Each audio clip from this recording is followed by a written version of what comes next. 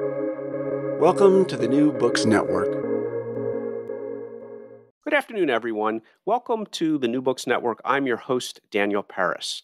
My guest today is Professor Michael Friendly, a professor of psychology at York University in Canada. He is the author of a just published, uh, really interesting book, uh, A History of Data Visualization and Graphic Communication, uh, with co author uh, Howard Wainer. Uh, professor Michael Friendly, uh, thank you so much for agreeing to be on the show. Thank you, Daniel. Thank you so much for having me here. I'm really, I'm really glad to talk to you about it. Well, it, it's uh, an astoundingly good book. I'm going to lead with that. Now, I mean, th- these interviews are designed to promote books, but I'm, I'm going to go off the top and say this is an astoundingly good book, particularly for someone, and there are thousands of us in finance or in any quantitative field of endeavor where we're using charts all day long. And I've been in this profession for 20 years, and I have been looking at charts for 20 years and I've been adjusting charts for 20 years. And uh, the meaning of the charts depends on the adjustments. And I'm afraid I'm not alone in having done that.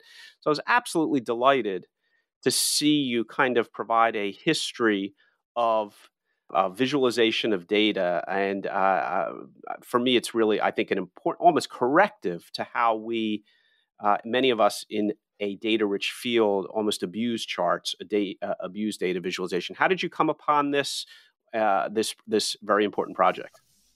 Well, I have to say my my day job, if you if I can say it that way, um, has been as a statistician and as a developer of graphical methods. So I'm one of the geeks who creates new kinds of graphical methods for complex data beyond you know simple scatter plots and bar charts but for looking at cross tabulated frequency data. I was one of the developers of a chart form called a mosaic display. I was working on this in the 1970s, and I thought, wow, this is something really new and sexy, and everybody should know about it. I'm one of the first people to do this. Well, it turned out that that form of graphical display had a really long history that I did not know of, and people who, like me, were developing new graphical methods had no awareness of. About 25 years ago, 19, 1995, I went to visit a friend and colleague in Toulouse in France.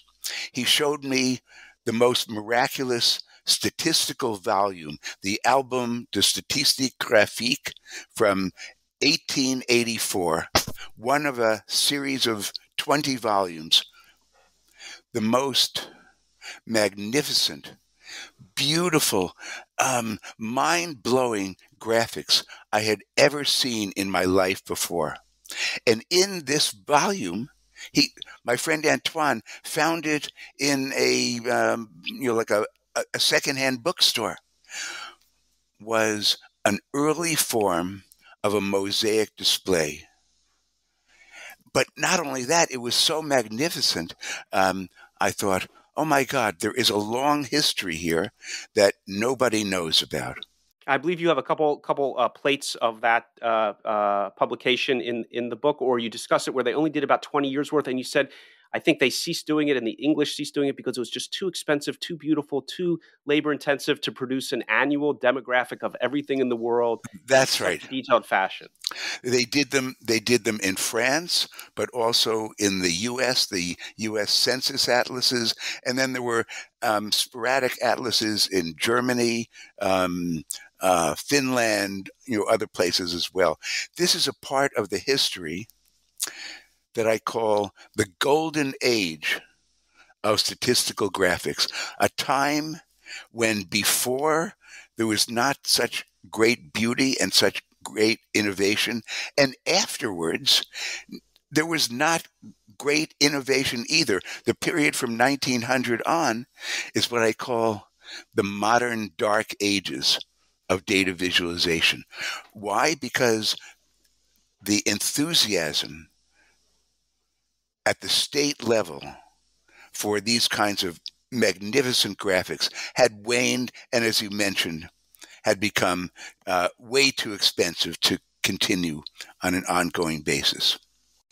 Um, the period in the 1800s was more generally described as one of um, the incredible growth of data. We talk about big data today, but in that period from 1820 to 1880 or so, in every area of human endeavor, commerce, trade, medicine, health, crime, state governments, France, England, the US, were beginning to think of the world in terms of data, things that were measurable that if if we have a social problem like crime, how do we decide what to do about it?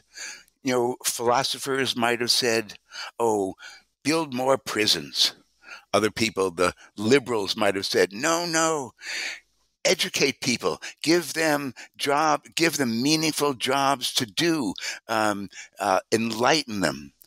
But without data, no one can make these decisions. What what to do about unemployment? Well, in economics, um, one of the remarkable set of graphs was by Phillips, the Phillips curve in economics was one of the first times that someone had looked at the relationship between um, unemployment and um, other factors in graphical means and saw a cyclical pattern that nobody could have imagined without making graphs of the data. Yeah, the Phillips curve is uh, obviously a very important topic uh, right now in the economy. And I'll tell two stories. First of all, it's about the relationship between uh, labor costs or wage costs and the unemployment level, which uh, I believe is 1958, uh, if I'm not mistaken, is the Phillips. Uh, I, I believe so, yes. A little bit later at this point. I showed and discussed the Phillips curve to my contractor. Remember, labor in the United States now is really, really tight. And he hand wrote his own alternative Phillips curve, and it was at the diagonal to the Phillips curve.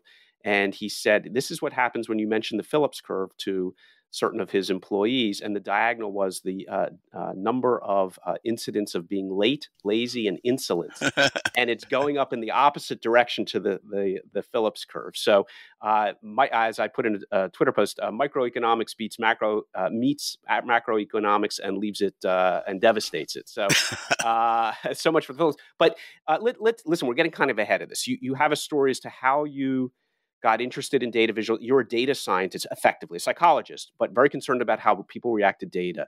Uh, but being a psychologist or even a, a, data scientist doesn't lead directly to the history of all of these things. You had this this uh, this moment with the French uh, almanac. How did uh, how do we get from a, a seeing a French almanac to uh, this book in front of me?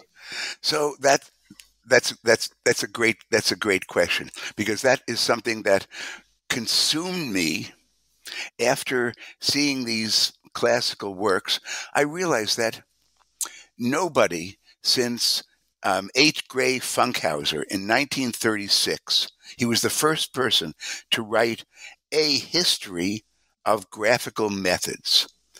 Before that, um, Etienne Jules Marey wrote the very first book collecting graphical methods, but these were these were you know had to do with recording um, physiological you know blood pressure, uh, recording motion, um, other kinds of mechanical devices. So the first guy who treats data visualization as a as an historical topic is Funkhouser in 1936. That is still sort of a landmark work. Um, it's p- things that data that data visualization historians refer to, but nobody thought to try to update that. So um, I began what I called the Milestones Project. Um, there's a link that uh, to my website. It's datavis.ca slash milestones, I began to try to make a complete, as complete as possible, a catalog of all the innovations and historical aspects related to data visualization. And again, I just want to emphasize to I think to, to my audience, which is substantially in finance, uh, and, and you objected to this when I emailed you about this before, but I'm going to still make the point. We're working backwards from an Excel chart. And we in finance take Excel charts and scatter charts and plots and the lines associated. We just take them for granted. It's just we take them for granted. And if we want to change the meaning of the chart, we change the axis. If we want to change the meaning of the chart, we change the data, data set. We, we adjust the data set. We throw out a few more outliers. And it happens all day long, everywhere, in any quantitative field. But we take as a given the importance of the visualization of the data how we intellectually or psychologically respond to it to try to make a point, generally our point. In a, we take the charts, put them in PowerPoint presentations, and hopefully we we win the day, whatever the day is. And I, I think it's it's incredibly important for those of us in, in battling with data every single day to know that that whole thought process had to come from somewhere.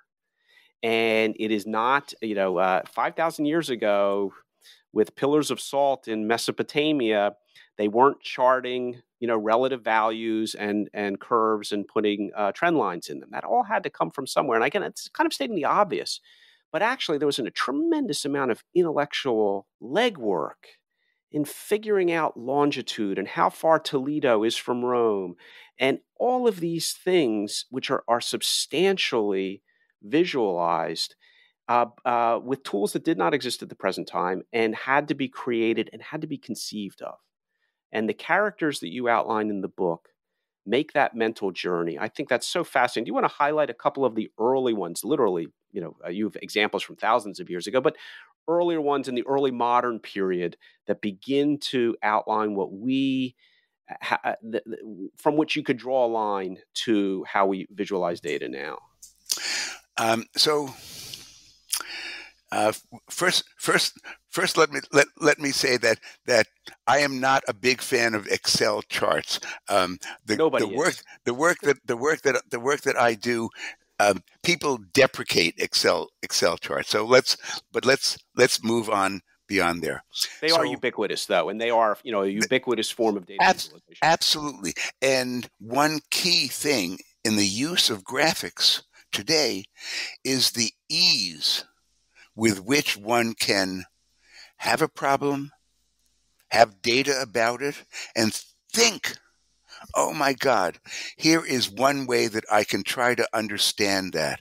Make a scatter plot to see the relationship of um, uh, outbreaks of COVID 19 to temporal factors, to regional, um, geographic factors, to political factors. The idea, having the idea of trying to think visually, is one of the key things that we've inherited from this long history. So, in a sense, the, the, the title of our book is A History of Data Visualization and graphic, graphic communication. communication. So, that is a key thing. And as a cognitive psychologist, I want to understand how John Snow had the idea to plot incidents of death in the cholera outbreak, how um, Michael Florent van Langren had the idea to make a one dimensional dot plot of the previous determinations of the longitude distance from Toledo to Rome. So, one of the things, one of the main themes of the book that ties this history together, and this is this is what I think is our unique contribution. We are not just catalogers of graphical innovations, as Funkhouser was, or um, as I started out my um, my journey of I'm I'm actually an amateur historian, but amateur in the sense of of love. So I cataloged all these things, but I began to see themes and I began to have some understanding of common threads that led from one kind of innovation to a new, another kind of innovation. So I like to think about, and in fact, this was an, an early candidate for a title of the book A Gleam in the Mind's Eye. The, I, the idea that someone like Francis Galton thought about um, heritability of traits. He had the idea to think, oh, if I make a graphic, a, a, table, but think of it as a graphic table and draw circles or ellipses of constant value, oh my God, here is a pattern that I can understand. And that led to the discovery of regression. Francis Galton, um, he's, I have, I have a bunch, I have six main heroes in the book that I talk about it. We can talk about more of them later. But Francis Galton um, also um, uh, some and you years, want to give a time time time frame for him? So um, 18, 1886 is regression, but 1864, Francis Galton discovered the patterns of weather. You look at your weather map in the newspaper today, you know, barometric pressure, you know, contours of high pressure, low pressure. It was Galton who discovered that. He discovered it by making 93 separate sets of graphs of mapping temperature, rainfall, barometric pressure from all, all across Europe, making a whole series of graphical displays. And remember, these are all hand drawn graphs, folks. Hand drawn graphs.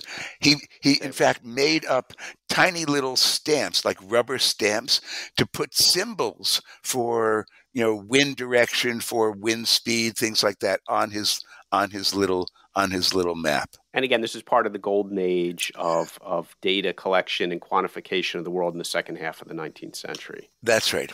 But if we go back to what I call the first statistical graph, which is Michael Florent van Langren's graph of longitude determinations from Toledo to Rome.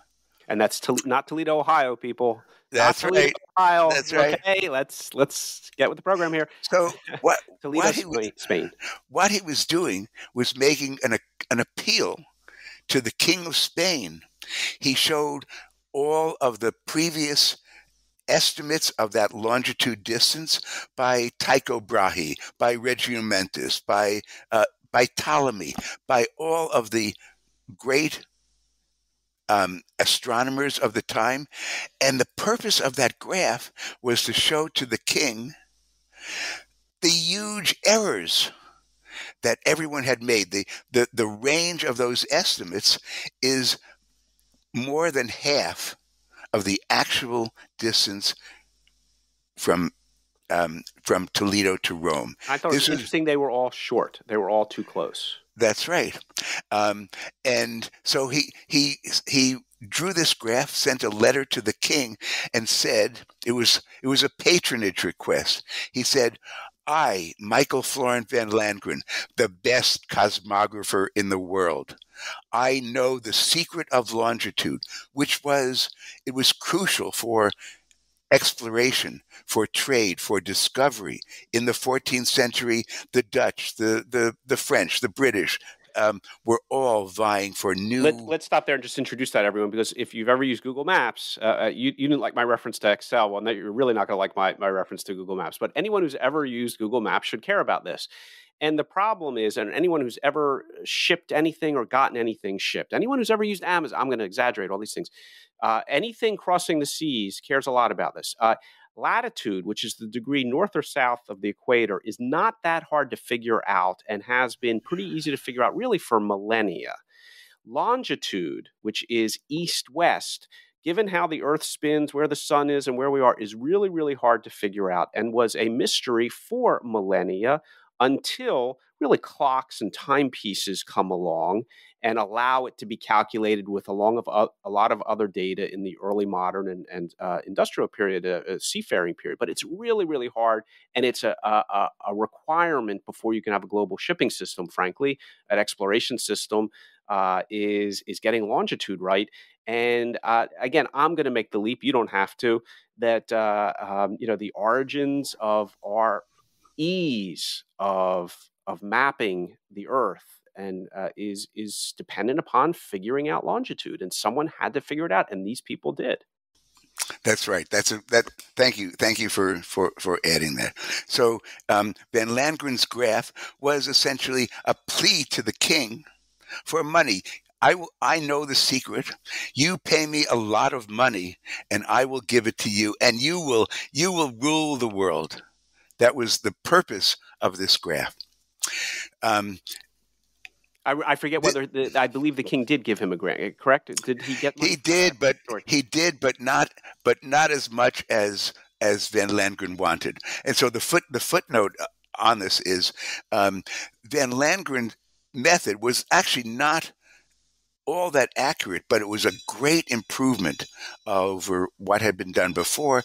And his idea was to record the location of a sunrise and sunset on the moon and shadows from from the craters and make it a more precise much more precise determination than just the absolute the, the total position of the moon in the sky.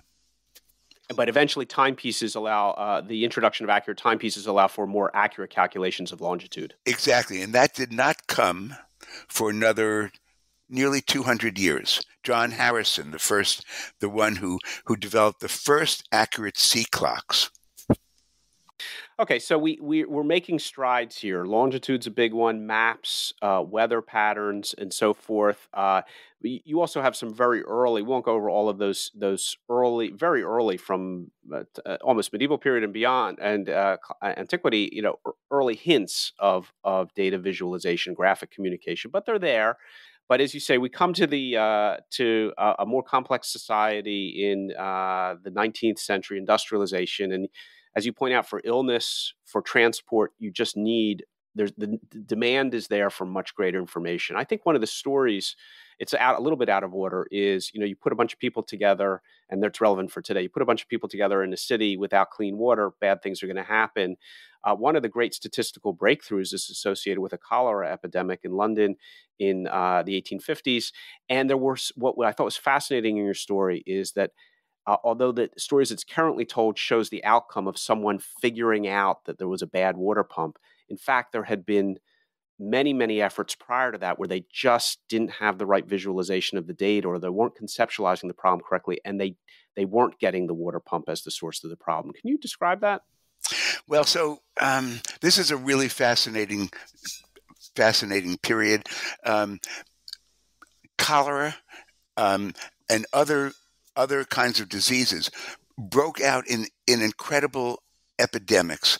Um, in Britain, uh, there was a registry of of deaths, uh, the General Registrar's Office, um, under William Farr, who was probably the first um, British um, main statistician, someone like um, he was sort of the he was not a medical person, but he was a statistician, but he was sort of the equivalent of Anthony Fauci in his day. He mm-hmm. recorded the data, he looked for patterns. But the thinking at the time all had to do with an explanation of cholera as due to bad air. It was called the miasma theory. And there was ample evidence for that. The closer you got to the Thames, it smelled awful. The big stink was what the Thames was called. And it turned out that there were more deaths closer the closer you got to the Thames. But that was not the causative factor. And so along comes John Snow, who was um, he was somewhat more than your average family doctor, um, but he was not, you know, an esteemed um, medical practitioner of the day.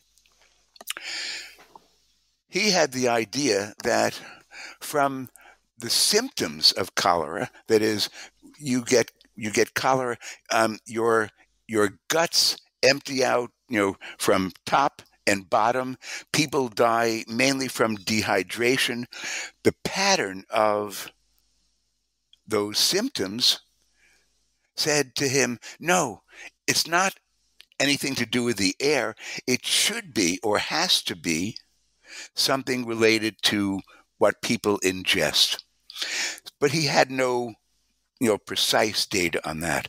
He began to think about water water a waterborne source for cholera and in the the the now iconic map of his this dot map of Soho he recorded one little square on the map for every single death and he looked at it. Um, this is this is you know today not what one would call a really ins, you know uh, knocks knocks you in the head kind of insightful graph he noticed that there was a cluster a big cluster of deaths around one particular pump on broad street and he also noticed that uh, a little bit further away there was a brewery people worked in the local brewery there were no cholera deaths around the brewery. He thought, why would that be? Well, he said, oh, everybody who works at the brewery can drink as much beer as as they as they want. They did not drink the water from around there. Did so, they, I think the, did the brewery draw its water from another source, or just the process of uh, fermentation uh, uh, took care of the cholera? Well, um, it, it, was it was it was more the it was more the latter. Um, uh-huh. They did not draw their water from a particular other, you know, from the Broad Street pump.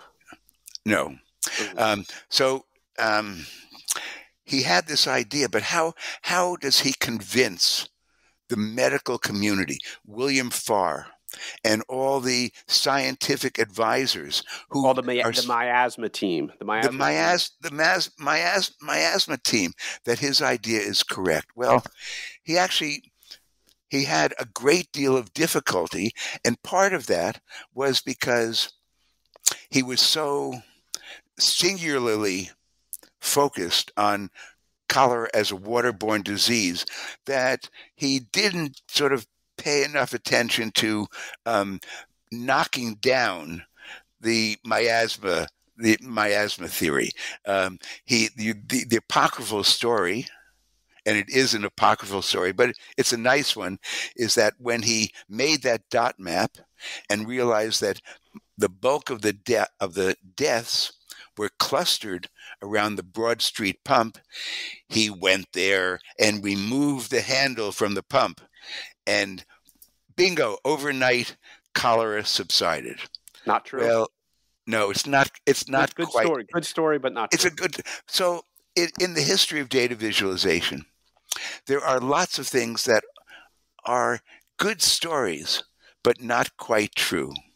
So, you know, the the the famous work of Florence Nightingale. She is the lady with the lamp, the the the person who is responsible for modern nursing as we know it today. And importantly, the concept that, uh, at least at that time, which she, uh, officials understood that uh, uh, that more people die not from battle food, battle uh, deaths, but from being far from home, bad water, bad supplies, and injuries, rather than from the field of battle. And you know, I don't know what the numbers are, but it was a common problem there that uh, eh, that her nursing in effect addressed that the, the I'm not going to say 90% of deaths, but whatever the majority of fatalities that occurred off the battlefield. That's that's true. When when she began keeping record of cause of deaths, looking at deaths on the battlefield from uh, uh, um, what she called zymotic diseases. Zymotic diseases were, you know, like things things in the in the in the water supply, similar or or or filth. Um, you know, soldiers wounded soldiers were lying in their own waste, Yeah. um, being being you know s- uh, subjected to you know great in, great great infantation infestations.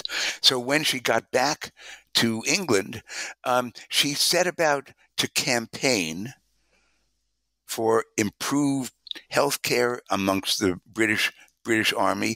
Um, she made the famous rose diagram. There are many versions of it. Um, my colleague Raymond Andrews and I just wrote a short paper um, for um, an online journal um, tracing the history of this lovely rose diagram back uh, back back in back in time.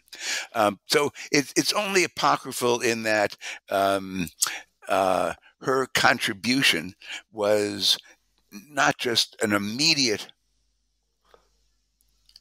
effect of her drawing this graph and everybody having the insight that oh we got to do something different it was a sustained period of collecting data writing reports to british parliament documenting documenting causes of death in the battlefield compared to in the general population in ways that were so compelling that no sensible person could believe that believe that there were just you know some other explanation. And they sent as a result uh, medical teams off battlefield medical teams to tighten up the ship off the battlefield, and the the uh, incidence of disease plummeted, if I'm not mistaken, as a result That's of that. that's right. There was a sanitary commission sent in um, April 1854, and following the sanitary commission uh, introducing new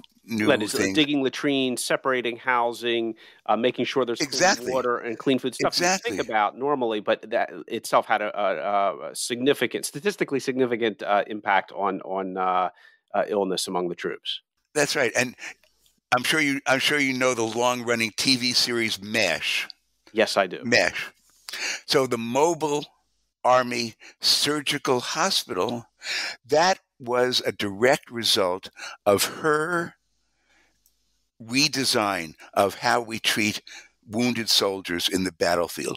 Mobile, be able to pick up and move in case you know there's Yeah. incoming shells. Surgical hospital, um, you know, for for for for treatment of the wounded. Yeah, let's let's. Uh, we're kind of running out of time a little bit, but I want to uh, mention one other uh, of that highlights of that period, and all, roughly in that period, uh, mid late 19th century, uh, there is one chart that is, you know, stand uh, the Broad Street pump chart is uh, or table or, or scatter plot is known to many, but pretty much known to everyone is uh, Charles Minard's uh, graphic representation of the Napoleonic War, Napoleon's uh, attack on Russia. Uh, I'm trained as a historian of the Soviet Union, so I'm very familiar with that. But it is perhaps the best single work of graphic communication and data visualization ever. I'm going to say you probably have your favorites, but at a popular level, I think it's by far number one. There's it's hard to beat that. Yeah, so it, it was um, um, it, most recently it was Edward Tufte who christened that as um, the best data visualization ever drawn. But that appreciation of Minard's work actually goes back to Etienne Jules Marey, who wrote this book um, in 1875, 79, The Graphic Method.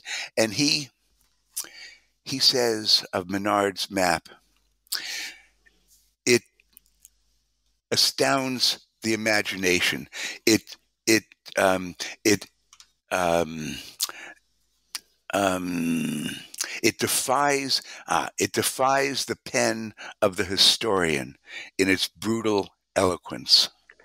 Just think about that. As a historian, I, I I give up. There's no way I could uh, I could top that.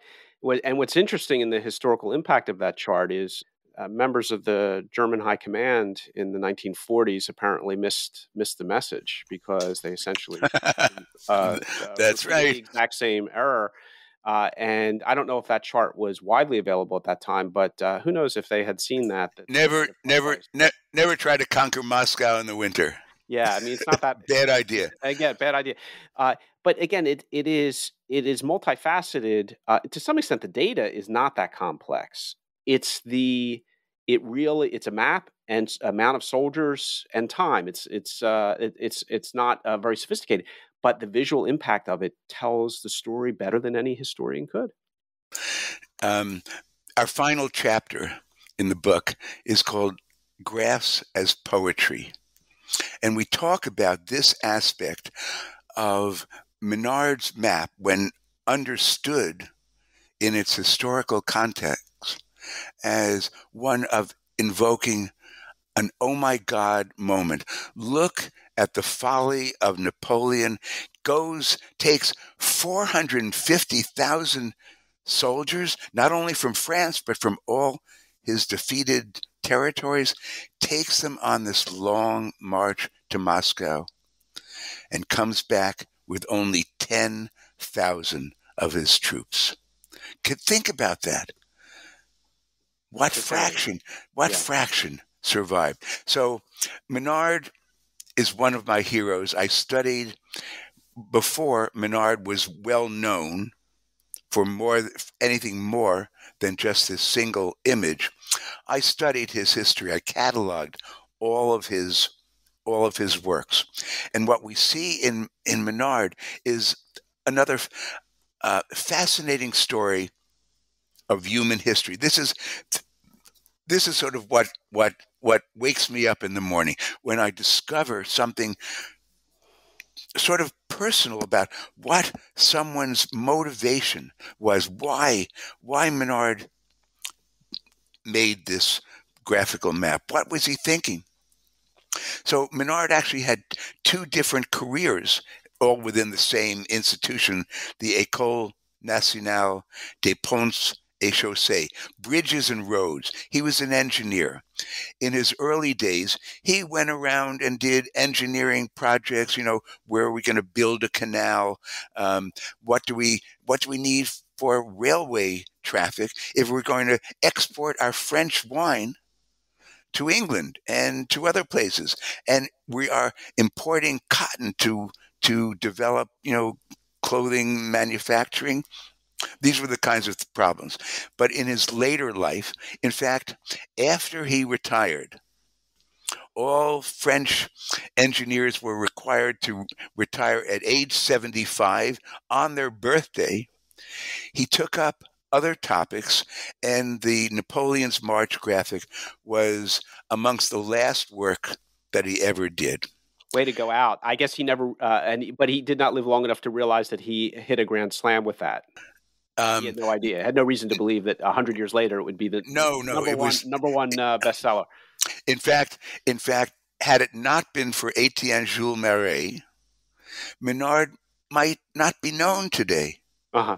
So someone else discovered that chart and that's right. It. Uh-huh. A, a near contemporary, and then um, Funkhouser picks that up and popularizes it in the 1930s. Then Tufte comes along and and talks about it as well in his in his first book. And now there's posters so, of it on every college uh, dormitory, that type of ab- thing. A- absolutely, I have I have I have small poster poster size copies I give out to the students in my data viz course who um, knock something out of the out of the park in the in a presentation or something or something like that. But so let me just say one one more little little background thing. the Napoleon March graphic is the only historical graphical representation that shows a national defeat. In no other country, at no other time, did someone memorialize a national defeat. And so, what was Minard's motivation? He wanted to show the folly of generals and politicians who, for glory, for their own personal glory, would risk the lives of thousands and thousands of his own of his own people. And it is for that reason that the graph was so powerful because it's essentially a visual explanation of why Napoleon lost lost that that campaign. So Minard got his place in history. The Broad Street Pump, if you look it up, you're going to find uh, the names of these physicians, the weather history of the weather. You'll find these. But if you look up all of these things, you, you won't come across William Playfair. And I sense that you think that that's not quite right. That William Playfair belongs in this group. He's not there in the popular imagination. Your book tries to rectify that. Let's finish up with the contributions that that uh, that he made. Okay, so Playfair Playfair actually was sort of a scoundrel. He was always scheming to. And what time? He he time frame eight, and location. Well, um, uh, he comes he comes online, if I can put it that way. Um, 1790. His main works um, span up to 1805. But then he continued um, beyond that up to around 1820, 1825. We can, I'll, I'll, uh, uh a little footnote.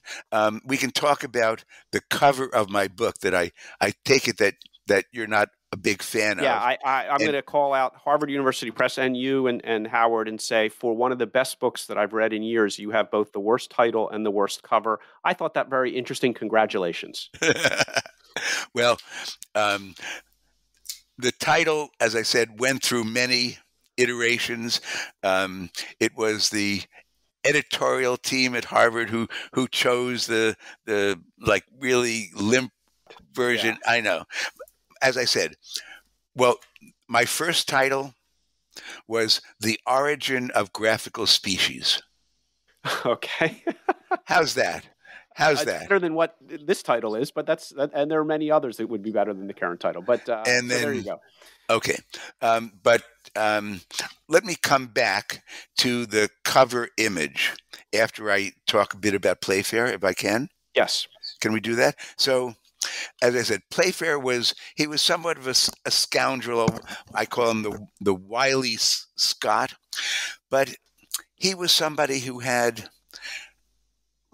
the idea, the imagination to think of representing economic data in the form of charts, line graphs, time series line graphs. How did he explain that? Well, he said if you want to look at um, imports or exports over time, think of in the year 1790, there were um, uh, three billion pounds of. Think of that as a stack of coins, the height of proportional to three billion pounds. The next year, it's four billion pounds. Think of that as a stack of coins, a physical stack of coins, the height proportional to that number.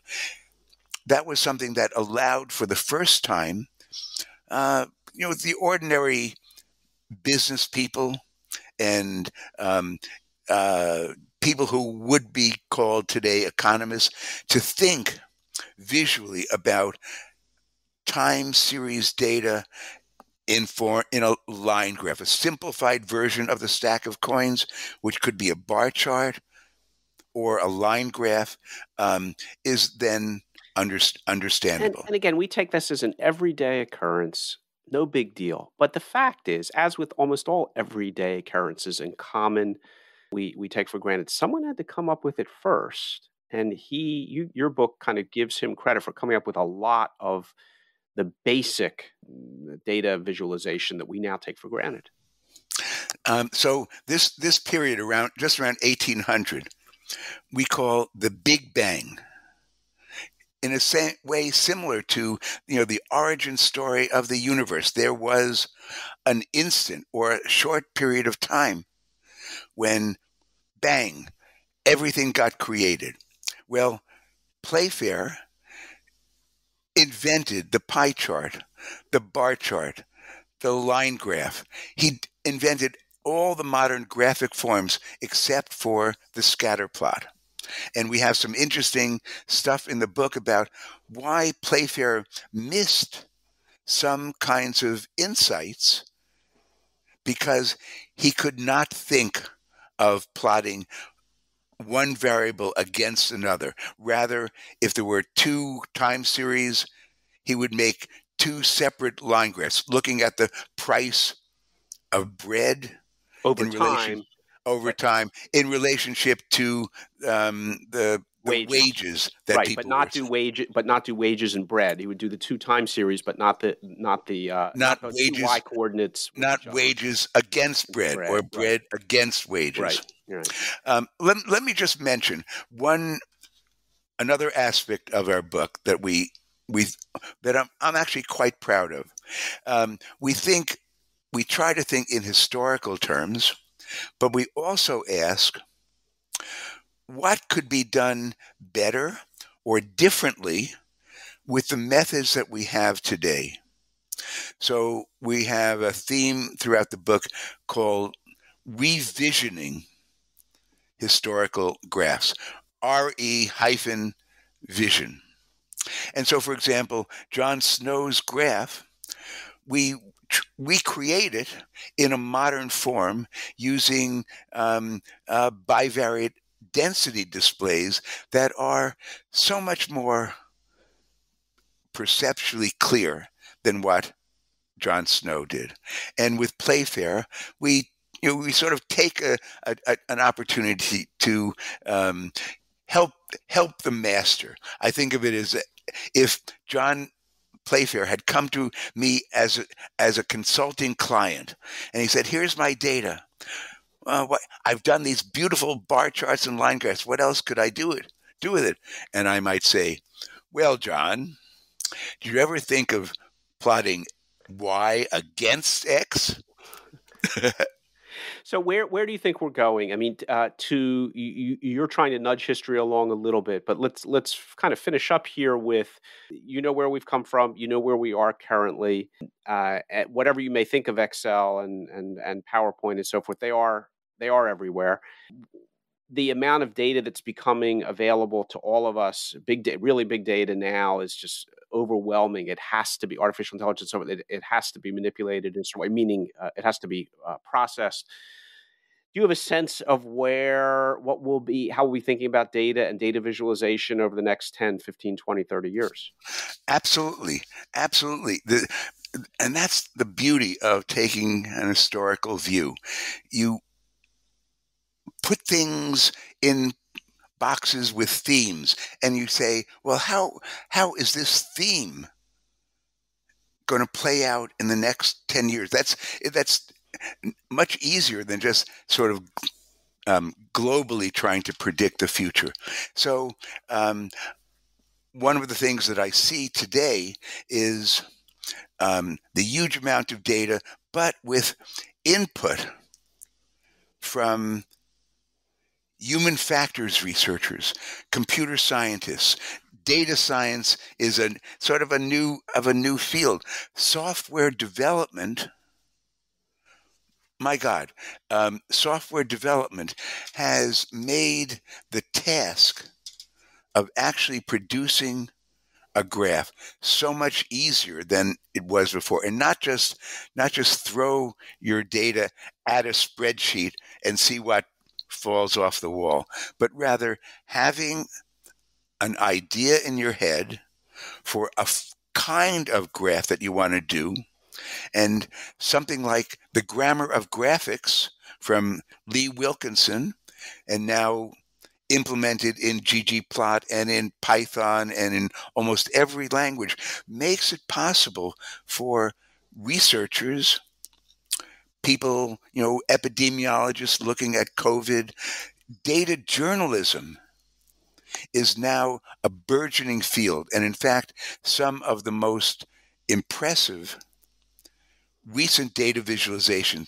have come from journalists who've realized that they can tell their story far better with graphs and with visualizations perhaps with with text so there is a whole there's a whole field of what's called scrolly telling interactive websites that you can scroll through and not just read a story, but drop down data. Yeah. Drop down data. Yeah, right. so certainly the COVID uh, pandemic around the world unfortunately lends itself to exactly this. And so uh, it's much easier to quickly look at a, a graph of cases than to uh, to internally interpret. Well, there were 2,300 cases in, in, Allegheny County versus 2,035 the day before. It, it's it's just much easier to instinctively assess better or worse with a graph, and it's much more efficient from a time perspective. But it, it's it's even more than that, Daniel. It's being able to see multiple aspects of, let's say, we're talking about COVID, multiple aspects that one could not even imagine trying to see in in tables. So if you if you look at um, uh, outbreaks of cases, say in in long term care facilities, yeah, this was yeah. a, this was a major problem. Well, the epidemiologists and the people who looked at the data, they saw that far, far quicker by localized graphical displays broken down by um, you know age group by you know amount number of contacts and all these things far more readily than they could have in any way. So the the the whatever hopeful defeat of COVID there is um, will be due to two things. One is the, the rapid development of vaccines. Hopefully, people will actually get that shot in the arm. And the really fine grain of detail about data, sources, and you know, um, other aspects that have been shown in graphical displays. Well, we will we will hopefully be able to assess that when the second edition, perhaps retitled, but the second edition of a history of data visualization and graphic communication by Michael Friendly and Howard Wainer comes out. The first edition is just out from Harvard University Press.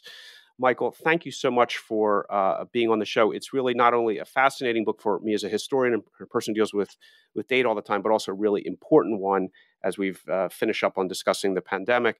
So, uh, again, thank you so much for for being a guest on the show. Daniel, I want to th- I want to thank you so much for um, for for organizing this. So um, here I am sitting in the south of France, but I'm thinking about the book and thinking about other other aspects of data visualization. So this is the this is actually the first uh, chance I've had for a while to talk Good. about well, this. There, there will be more. This book deserves to be well discussed. I think you're going to uh, hopefully find your dance card filled with opportunities to discuss it. Take care. Thank you very so much.